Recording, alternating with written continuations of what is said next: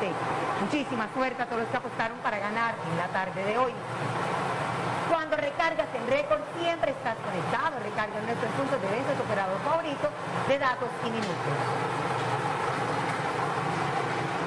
Y las balotas se han detenido. El número 4, primera balota. Número 0, segunda balota. Número 2, tercera balota.